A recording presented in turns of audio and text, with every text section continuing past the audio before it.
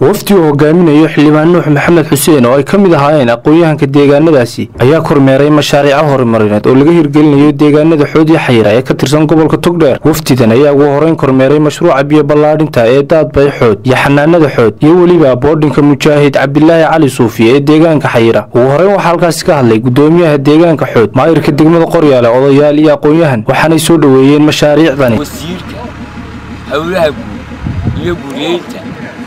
قيبت الله نقرأ قاطي. اما نقرأ قباي عتسيدي أنا ولدني انو كتبته. علي حسن الحميد. علي مرحله ما علي رسيدة. آه، ان سعد الوسيم وحلو تاجر هاي عينينا مر لباب. سيدا وروح لبلد يا إيه، ابن وقع بشي قصدي يا البوس وغري xanaanadii u horraysay waa taa imika laga sameeyey. Waxaanu codsanaynaa si ay xarun u noqoto xarun caafimaad siday u noqoto in xarun in xanaanadana iminka waa rug caafimaade xanaano laga dhigo. Ambalaasna naloo keeno. Waxaanu abaal u haynaa kuwaana sharcay ee xanaanadii noo dhammeeyey ee rugta bilaaska noo dhigay yaanu abaal ugu haynaa markaa hawsha maanta halka laga qabanayaa waa hawl aad iyo aad u muhiima oo uu deegaankuna aad iyo aad ugu baahnaa oo ma garanaysaa ay dhibaato badani ka haysatay xagga xaalufka. Aad iyo aad ayaan uga mahad celinaynaa wasiirka iyo cid kasta oo ka shaqaysay hawsha oo gacan ka geysatay.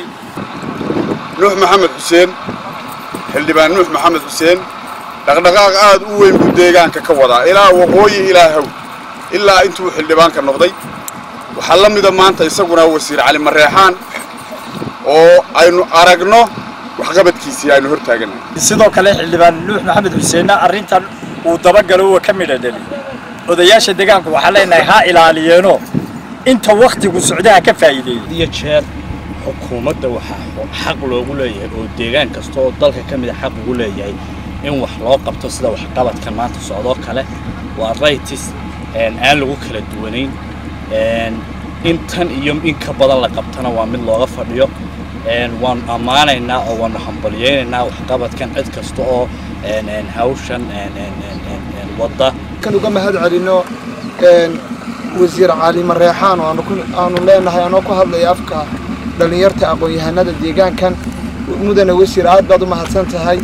Kolley qof kasta oo ka soo jeeda deegaankan xood ama deegaanadan saraareed waxay u baahan yihiin waxqabad qofkii wuxuu qabtuunbaa berritoo loo iman karaa waxaa kalean jeclay inaan halkan uga mahad celiyo xildhibaan nuux maxamed xuseen oo ah xildhibaanka waxqabadka in badanna deegaanada wax ka qabtay waanu leenahay xildhibaan hawl aad lahayd baad qabsatay aad baad ugu mahadsan tahay garabkaagaanu ku taagay waxaa ugu dambeyn halkaasi ka hadlay xildhibaan nuux maxamed xuseen ugu horreyn halkaan aan uga mahad celinayaa wasiirka howlaha guud cali marreexaan oo xaqiiqatan isaga la'aantii aan hawshani maanta aanay halkan suurto gasheen aynu isugu nimid dhammaanteen saaka kormeer baan ku soo baxnay aniga iyo maayarka qoryaale iyo ku-xigeenkiisa iyo waftidan ila socotaa waxaanu soo eegaynay xaaladda abaaraha. Waxaanu soo eegaynay m c h kii xoodeed oo dhammaystirmay oo maayar maxamed muraad isaguna uu ka qayb qaatay oo isagu dhismaha uu lahaa. Isagana waan u mahad celinayaa maayarka magaalada burco xanaanadii waa la dhammaystiray waxaanu idii ballan qaadaynaa in aanu soo qalabayno oo m c ambalaaskiina laydii keeni doono. Insha allahu tacaala sida ugu dhaqsaha badan leh. Halkan maanta shaqa ayaanu nimi shaqadii aanu nimi waa tii aad noo doorateen. Laa shukra calaa waajib. Waa waajibna saaran marba wixii awooddayada inaannu qabanno. Mahad cali goodir tv-ga caalamiga star burco